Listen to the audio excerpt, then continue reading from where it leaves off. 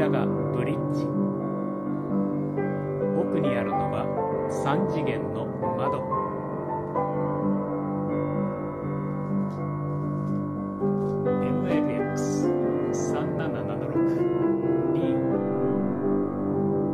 この D はマルチディメンションの D です。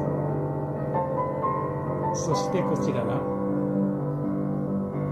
多次元の窓。宇宙船の両側にあたります。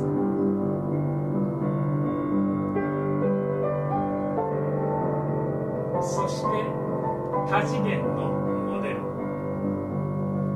ワープドライブは多次元でないと飛べません。このことについては来年の講義からやります。まずは多次元をしっかりと。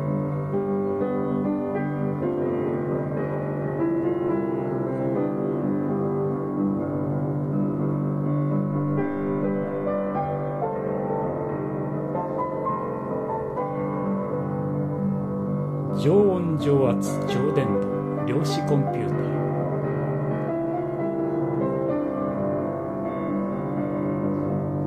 デッカエンタープライズ。